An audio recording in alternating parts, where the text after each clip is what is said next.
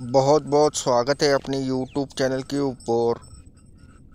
धतुरा, कनक, शिवप्रिया, ऐसे नामों से जाने जाने वाला पेड़।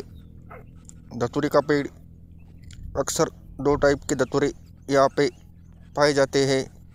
एक सफ़ेद प्रकार के फूल आने वाला धतूरा और दूसरा हल्के से लाल कलर के फूल, जिसे हम काला धतूरा या लाल धतूरा भी कहते हैं। भगवान शंकर जी की पूजा में धतूरे का फूल और फल का प्रयोग किया जाता है।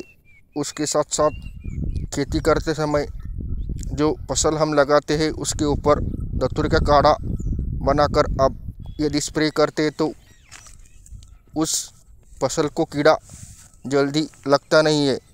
उसके साथ साथ शरीर के बाह्य संबंधित या शरीर में कहीं पे सूजन हो जाए तो आप आयुर्वेदिक चिकित्सकार की सलाह से धतूरे का इस्तेमाल कर सकते हैं। उसकी पहचान ये सफ़ेद फूल और बड़े बड़े पत्तों से आप कर सकते हैं। आपको यदि वीडियो अच्छी लगी, वीडियो को लाइक कीजिए और चैनल को सब्सक्राइब कीजिए। Thank you for watching